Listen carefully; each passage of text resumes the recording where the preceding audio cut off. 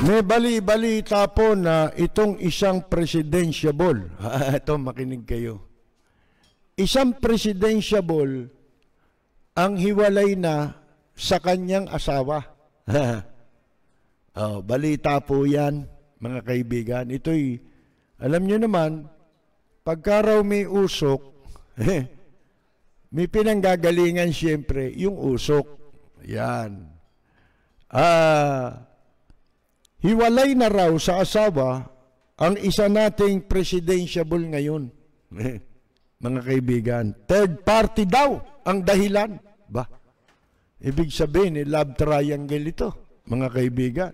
Kaya, uh, mala separate lives na kanta ni Phil Collins, uh, ang peg ng dalawa. mga kaibigan, nahuli raw kasi sa akto ng presidentiable ang kanyang jowa na nakikipagrelasyon sa isang artista na madalas ding nasasabit sa kontrobersya. Dati na raw may record ng pangangaliwa ang asawa ni presidential wannabe. Pero dahil sa pagmamahal sa kanilang pamilya, pilit niyang kinakalimutan ito at nauuwi sa kapatawaran ang away ng dalawa. Mga kaibigan, ano ha? Pero itong huling uh, pagkakabuko kay Jowa, ibang usapan na to. Dahil labis nang natapakan ng dignidad at pagkatao ng isa sa nangungunang presidentiable ngayon. Kaya, ang nangyari, lumaya sa kanilang mansion si soon-to-be Commander-in-Chief ng bansa at sinabihan si Jowa na kailangan pagbalik nito sa kanilang tahanan ay wala na ito upang mawala na ang malas sa kanilang pamilya. Ayun. Ibig sabihin, hindi lang basta outside di Colombo ang nangyari, kundi sa pilitang uh, ano, pinag-alsabalutan si Jowa ng maimpluwensyang presidential candidate.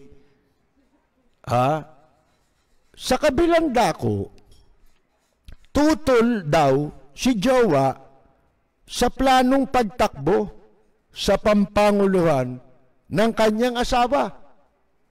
Labis daw kasing mag-iiba ang takbo ng kanilang pamumuhay sakaling manalo ito bilang presidente ng bansa sa darating na halalan sa 2022. Lalo raw, hindi magiging normal ang takbo ng buhay ng kanilang anak at siguradong mayat maya ay nasa media ang kanilang pamilya.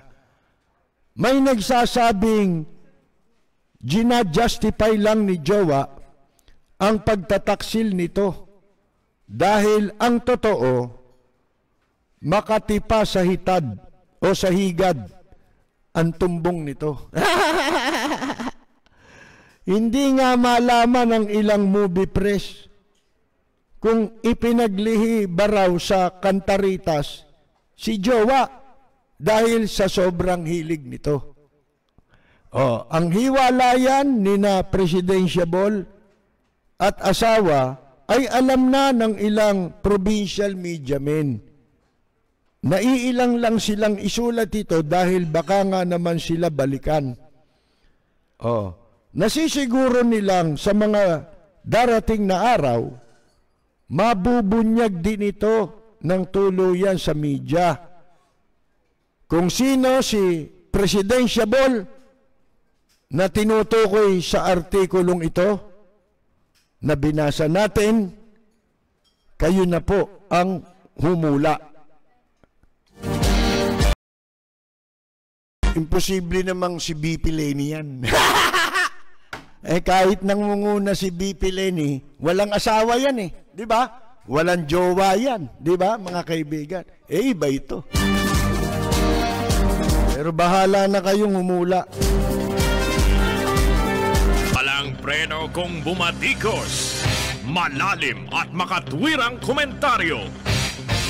Mag-ingat ang mga politikong gumagawa ng kalokohan at baka kayo ay tamaan ng Lapid Fire! Itong malampaya na ang may-ari na si Dennis Uy. Isipin mo yan eh. Ah, yung 45% ng gobyerno, mga kaibigan, ay nabili na nito. Ah, pagkatapos yung 45% ng Shell, ng kumpanyang Shell, nabili rin niya.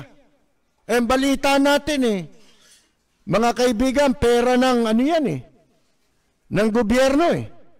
O BS loan niya na ginarantyahan ng gobyerno. O di ibig sabihin, pera ng mamamayang Pilipino ang ginamit dyan. Mga kaibigan, pero alam naman nating lahat, sinasabi na ito si Dennis Uy ay siyang front ng China dito sa Pilipinas ang umahawak ng investment ng China. Eh wala namang investment pala yan eh. Lumilitaw na pinalalabas nila, namumuhunan sila rito, pero yung perang ipinupuhunan, eh BS loan. Pakiusap na utang na ang gumagarantya ay siyempre presidente ng Pilipinas.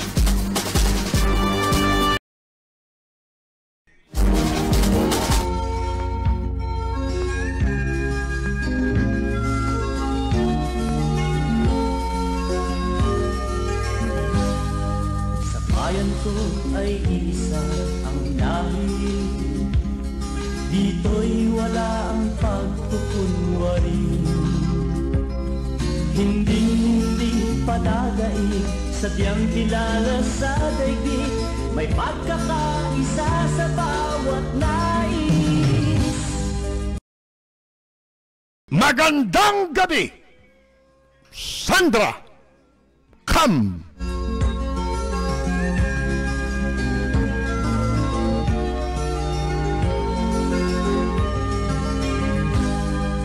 Ang bayan ko'y punong-puno ng yaman Bakit ito'y kailangan pang iwanan? Hindi nga ba't anong sarap mabuhay ng buo